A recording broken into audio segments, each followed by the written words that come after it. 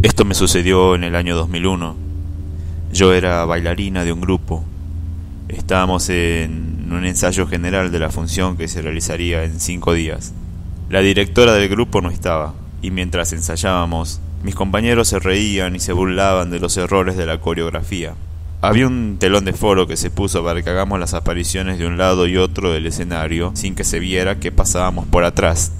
Cuando a mí me tocaba ir a dar la vuelta para aparecer del otro, veo a un hombre suspendido en el aire. No sé cómo explicarlo. Se lo veía casi invisible, pues se podía ver lo que había detrás de él. Era transparente. Yo no me quise acercar del susto que tenía. Empecé a alejarme lentamente de ahí. Es cuando escucho que me habla y me dice, el escenario no es para jugar, hay que respetarlo. Fue ahí cuando salí corriendo a buscar a mis compañeros para no estar sola. Recuerdo que vestía con un pantalón negro, remera negra y una boina. Ciertamente era joven. No les conté nada de eso a mis compañeros, pero sí les dije que ensayemos con seriedad y que dejen de burlarse.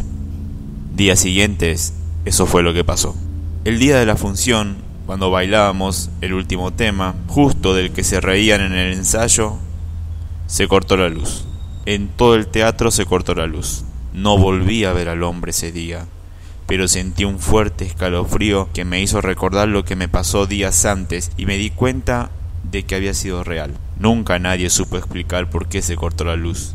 Nunca hubo un cortocircuito ni una falla eléctrica, ni problemas de luces, ni siquiera en los alrededores del teatro. Nadie supo dar una explicación. Al día siguiente le conté todo a algunos compañeros. Obviamente, algunos me creyeron y otros no.